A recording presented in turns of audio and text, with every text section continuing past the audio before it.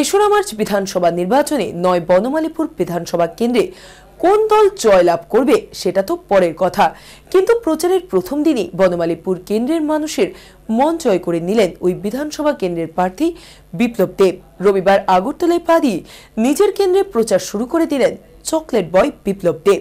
বিমানবন্দর থেকে হুটখোলা গাড়িতে সুবিশাল বাইক র্যালি করে মোটর স্ট্যান্ডে বনমালীপুর মণ্ডল কার্যালয়ে আসেন তিনি।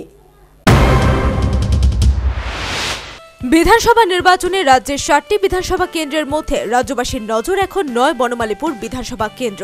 সিপিএম এর হয়ে ওই কেন্দ্রে প্রার্থী হয়েছেন অমল চক্রবর্তী। কংগ্রেসের টিকিটে লড়াই করছেন গোপাল রায়। আর বিজেপির হয়ে লড়াই করছেন বিপ্লব দেব। তাই এবার এই কেন্দ্রে যে হাড্ডাহাড্ডি লড়াই হতে চলেছে, সেটা বলাই বাহুল্য। তেসরা মার্চ বিধানসভা নির্বাচনে নয় বনমালীপুর বিধানসভা কেন্দ্রে কোন দল জয়লাভ করবে সেটা তো পরের কথা। কিন্তু প্রচারের প্রথম দিনেই বনমালীপুর কেন্দ্রের মানুষের মন জয় করে নিলেন ওই বিধানসভা কেন্দ্রের প্রার্থী বিপ্লব দেব। রবিবার আগরতলায় পা দিয়ে নিজের কেন্দ্রে প্রচার শুরু করে দিলেন চকলেট বয় বিপ্লব দেব। বিমানবন্দর থেকে হুট খোলা গাড়িতে সুবিশাল বাইক র্যালি করে মোটর স্ট্যান্ডে বনমালীপুর মণ্ডল কার্যালয়ে আসেন তিনি। সেখানে তাকে স্বাগত জানান বিজেপির কর্মী সমর্থকরা। দলীয় কার্যালয়ে তাকে স্বাগত জানান কল্যাণী রায়, রেবতী মোহন দাস সহ বিজেপির অন্যান্য নেতৃবৃন্দরা। করানো হয় মিষ্টি মুখ। বিমানবন্দর থেকে বনমালীপুর মণ্ডল কার্যালয় পর্যন্ত বিপ্লব বাবুর পাশে ছিলেন তার সহধর্মিনী।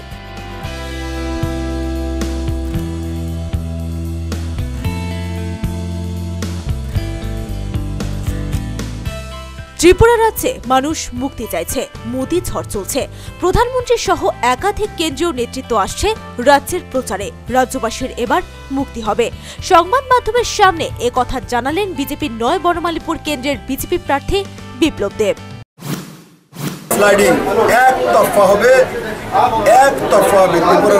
মানুষ মুক্তি চাইছে একতরফা মোদি লহর চলছে।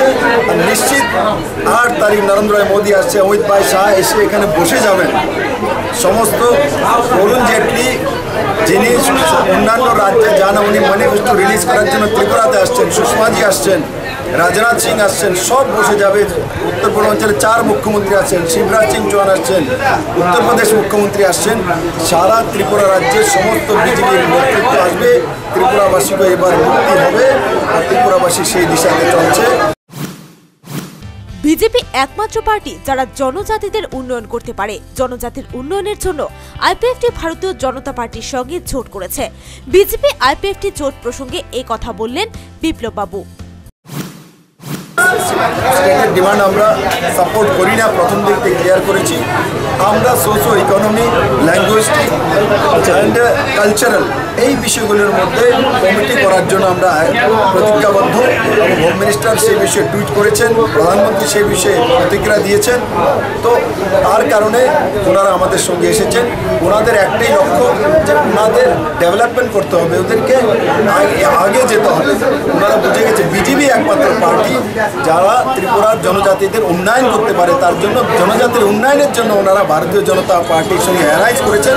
আর আমরা নিশ্চিত সবাইকে নিয়ে সবকা সাথ সবকা বিকাশ করে চলো পাল্টাই করেंगे ত্রিপুরাকে এই কমিউনিস্ট পার্টিকে এই ত্রিপুরা থেকে চিরতর বিদায় করে জনমুখী এক ডেভেলপমেন্ট সরকার বানাবে ধন্যবাদ যেভাবে প্রথম দিনে বিপ্লব দেবের প্রচারে বিজেপি কর্মীদের ঢল নেমেছে তাতে এক প্রকার নিশ্চিত যে এই কেন্দ্রে অমল চক্রবর্তী গোপাল রায়দের থেকে অনেক এগিয়ে রয়েছে বিপ্লব বাবু ব্যুরো রিপোর্ট নিউজ ভ্যানগার্ড।